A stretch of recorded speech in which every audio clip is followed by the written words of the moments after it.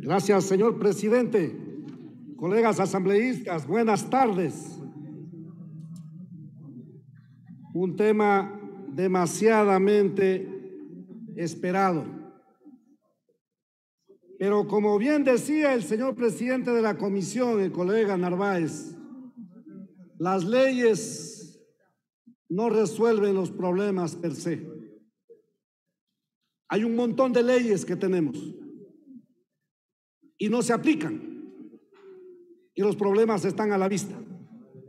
Por eso, presidente, solicito a través suyo, por secretaría, hacer lectura el artículo 682 del COIP. Proceda, señor secretario.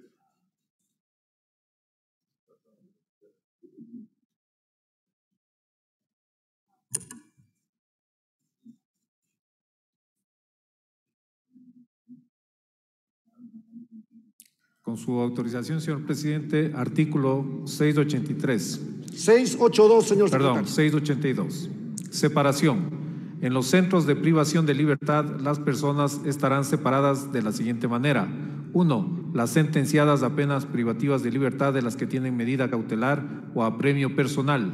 Dos, las mujeres de los hombres. Tres, las que manifiestan comportamiento violento de las demás. Cuatro, las que necesitan atención prioritaria de las demás. Cinco, las privadas de libertad por delitos de tránsito de las privadas de libertad por otros delitos. Seis, las privadas de libertad que son parte del Sistema Nacional de Protección y Asistencia a víctimas, testigos y otros participantes en proceso penal de las demás. Siete, las privadas de libertad por contravenciones de las personas privadas de libertad por delitos. Hasta ahí el texto del artículo. Gracias, señor secretario. Las leyes están diciendo qué tiene que hacerse. El COIP y este artículo 682 está vigente por años. Preguntamos, ¿por qué no se aplica este artículo? ¿Por qué no se aplica esta ley? ¿Dónde están la separación de los PPLs en función de esas características que acaba de leer el señor secretario? ¿Por qué están los que tienen prisión preventiva bajo el mismo techo con quienes están privados de su libertad por actos de alta peligrosidad. No se cumple con la ley. Y eso es lo primero que hacemos un llamado al actual gobierno. Cumpla con el artículo 682 y haga lo necesario la infraestructura necesaria separe a los PPLs en función de este artículo del Código Integral Penal. Por otro lado, señor presidente, hay toda la policía y en estos últimos tiempos las Fuerzas Armadas vigilando los centros penitenciarios. Y resulta que bajo la vigilancia de la Policía Nacional y de los miembros de las Fuerzas Armadas, ingresan pues las armas de alto calibre al interior de las cárceles. ¿Cómo es eso? ¿Qué está pasando ahí? Entonces aquí lo que estamos es frente a la complicidad de algunos, y subrayo, de algunos miembros de la Policía Nacional, incluso de las Fuerzas Armadas. ¿Cómo es que en pleno estado de excepción ingresan armas a la cárcel de Turi y acabamos de ver lo que acaba de pasar hace unos días? ¿Cómo es que cuando uno quiere visitar a un amigo en la cárcel, a uno le observan, le vigilan, perdonen la palabra, le van manoseando todo el cuerpo, pues, a ver si está pasando una pistola por ahí? Por favor, señores. Claro, broma para algunos. Broma para algunos. Pero mientras Pero mientras a unos, a mujeres y hombres de este país que quieren ingresar a visitar a algún familiar en las cárceles, le van manoseando todo el cuerpo a saber si no está pasando un arma. A los otros les permiten pasar seguramente en los carros, porque no creo que vayan llevando esas bazucas que se ven que utilizan en los momentos de los problemas al interior de las cárceles. ¿Con la venia de quién? ¿Cómo así? Por lo tanto, colega asambleísta Ramiro Narváez, la ley debe mandar a que todas las cárceles estén implementadas con la tecnología digital que existe hoy en día, para que no sea pues esa falta de respeto que aquí ha sido motivo de burla, como la, la guardia de las cárceles le van manoseando a nuestras madres y a todos quienes buscan ingresar a las cárceles para visitar a su familia. Que sean las herramientas tecnológicas las que vigilen y no permitan que ingresen las armas a las cárceles para evitar lo que está pasando. ¿Por qué no se hace eso? ¿O acaso es el cálculo del negocio de quienes controlan las cárceles? Y que no vengan a decir que solamente son los cabecillas de las organizaciones delictivas.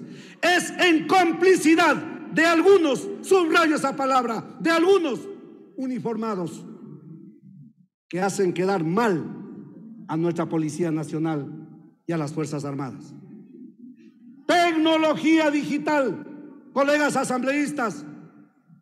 Qué bueno, a través suyo, presidente, al colega presidente Ramiro Narváez. Qué bueno que se esté tomando en consideración estos parámetros internacionales. Vamos pues a ver si en Alemania la guardia de las cárceles le están manoseando a las madres alemanas cuando ingresan a visitar a sus familiares en los centros penitenciarios.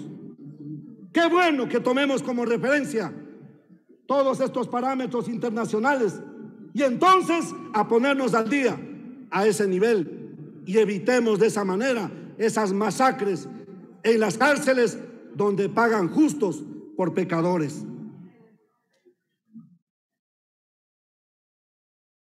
Hay otros temas que también han conllevado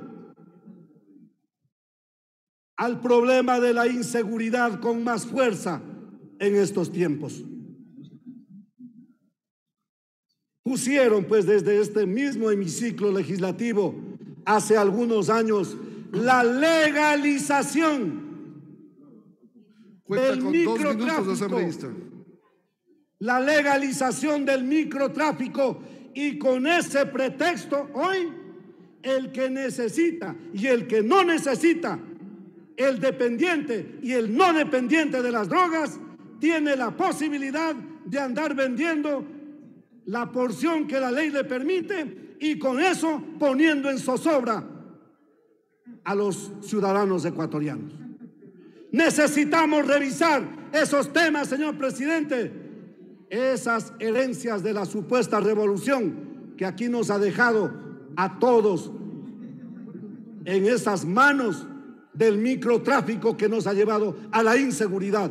Si hay ciudadanos que necesitan de estas drogas como dependientes, que sean calificados y registrados por el Ministerio de Salud Pública y solo ellos deberían llevar la porción pertinente, pero no todos como hoy día dice la ley.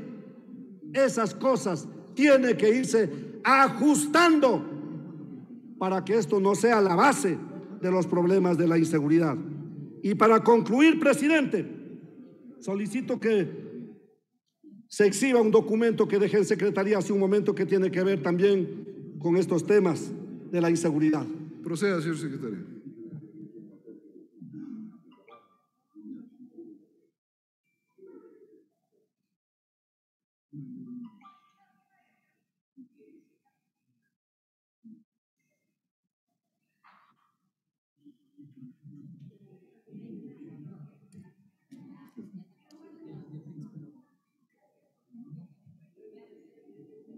Espero que no me descuente el tiempo, presidente.